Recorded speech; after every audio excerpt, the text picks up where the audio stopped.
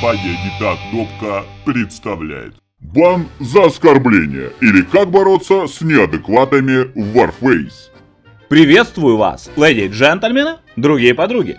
С вами Мортит, наш друг Капитан Очевидность, Привет, друзья! красавчик. И очень интересная тема, а именно оскорбление Warface. Разработчики опубликовали новость, в которой заявили, что бороться с нарушителями теперь будет намного проще и сама борьба должна стать намного эффективнее. Мол, теперь не надо делать никаких скриншотов, просто отправляйте жалобу и нарушитель получает свое заслуженное наказание. Но какое вот это самое наказание? Это первый вопрос. А второй вопрос. Достаточно ли этого для того, чтобы обезопасить игроков от оскорблений, похищений аккаунтов и прочего, прямо скажем, дерьма, которое, к сожалению, в нашей игре процветает? Как бороться с подобными нарушениями? Ведь порой это из простого обвинения в нубстве друг друга перерастает в реальные конфликты.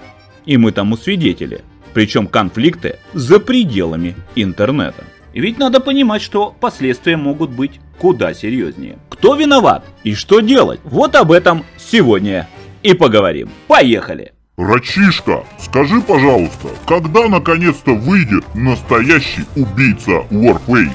Запомни, Кэп, нельзя убить убитое. И вообще, без говна из жизни-то. Да, а ведь точно подметил. Прежде всего, друзья, я, конечно, должен сказать, с чего все началось. Но проблема в том, что это не начиналось. Это, сука, было всегда. Неадекватов в нашей игре хватало всегда, с самого начала ее зарождения. Что только по этому поводу не предлагали. Я в свое время даже предлагал делать регистрацию в игре по паспорту, дабы отвечать за свои слова пришлось по-любому том числе и в судебном порядке. И я помню, сколько, сука, было комментариев в стиле Ну и что? Это игра? Это интернет, свободное пространство? Я имею право обсирать и писать про кого хочу, что хочу? Ну не пидоры? Ты, значит, просто поиграть зашел? А эти, сука, опущенцы уже твою маму в кино уводят. Я предлагал всем этим героям приехать на опен и как бы повторить мне в лицо. До сих пор, сука, жду. Пидорюги есть, и это факт. Кроме оскорблений, также у нас множество самых разных мошенников пользуются чатом, дабы уводить аккаунт. Многие доверчивы по своей натуре, и поэтому нагиб случается. И вы знаете, я не думаю, что вот эта новая упрощенная система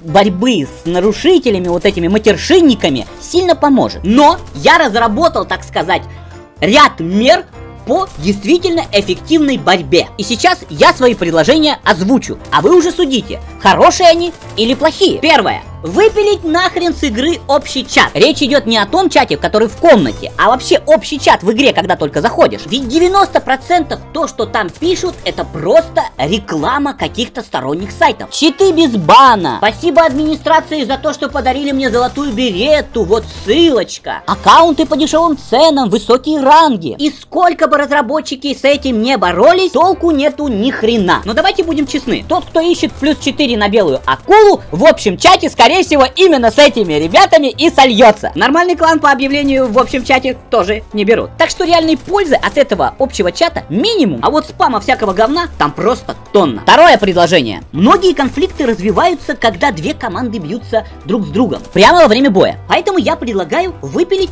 общий чат во время боев. То есть оставить командный чат на здоровье, можете с друг другом общаться, обсуждать, кто из вас нуб и за кого вы сливаете. Там, как правило, негатив есть, но он не такой сильно выраженный. А вот вот это эта, сука, вся писанина в стиле э, прицельный туда-сюда. Вот из-за этого говно и начинается. Особенно это касается РМа. Там же, сука, корову проигрывают. Поэтому оскорбления порой бывают очень жуткие. И оскорбления родственников, и оскорбления религии, оскорбления национальности. А ведь по сути это уголовное дело. Поэтому, дабы всего этого негатива избежать, я предлагаю ограничить чат только твоей командой в бою, в любом режиме. Третье. Часто в комнате получается так, что сидишь себе нормально, зашел, например, в какую-то комнату, через быстрый поиск, а там, допустим, твои подписчики, мои подписчики. Они, здорово, Ракутагин, ты такой, привет всем! И обязательно, сука, вылезет какой-то пидорюга, или даже два. И начинает оскорблять их, оскорблять меня. Он меня знать не знает, я ему ничего плохого не делал. Я предлагаю ввести функцию бана отдельного персонажа в чате. То есть я просто нажал на него, все, я и больше не вижу, что он пишет. Он, сука, исчез. У меня его нет, у других есть, у меня нет. Гениально! Четвертое предложение. Я думаю, очень дельное. Дело в том, что до того, как я завел себе канал на ютубе, и особенно до того, как я стал играть в Warface, я играл в серию Call of Duty. И надо заметить, там неадекватов, сука, тоже тонна. Со своими ребятами я общался в голосовом чате, программе Вентрило, поэтому слушать всяких идиотов, которые меня оскорбляют, часто, кстати, это иностранцы, тоже у них такие бывают, и читать постоянно, что пишут недовольные, мне было неинтересно. А недовольных, сука, было много. Поэтому я просто прописывал в конфиге, там есть такая возможность, чат тайм 0. Все, у меня никаких вообще сообщений нет, у меня полностью вырублен чат везде в игре. Все, чата нет. И как приятно, сука, было играть, просто изумительно. Так вот, разработчики, я уверен, что в Warface хватает игроков, которые вообще не хотят видеть чат, особенно с учетом того, сколько там негатива. Поэтому я предлагаю предлагаю в настройках ввести отдельную опцию по желанию. Полное вырубание всего чата в игре. Абсолютно всего. И поверьте, многие вам за это только спасибо скажут. Кому надо, пусть общаются. Кто не хочет, пусть не общается. Гениально, сука. Да.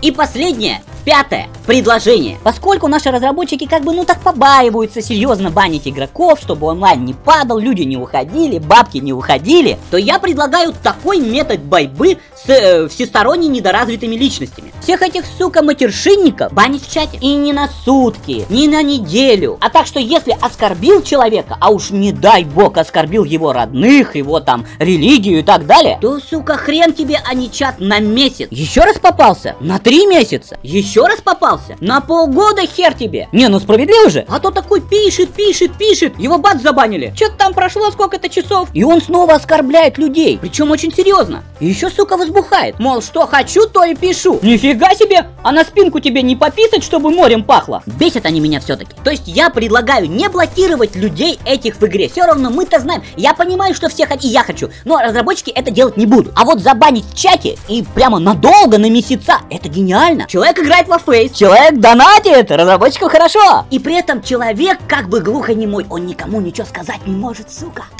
Сосет, но молчит, а поэтому сосет вдвойне. Вот такие у меня предложения, дорогие разработчики и дорогие игроки. Жду ваших комментариев, хочу узнать, что вы об этом думаете. Если данные идеи понравились вам, по каким-то причинам, то ставьте лайки, это, кстати, по желанию, как хотите. Яйки чешите, это обязательно. Яйцо почесал, и в чате все спокойно. Вступайте в нашу армию, нагибайте всех. И мы увидимся с вами.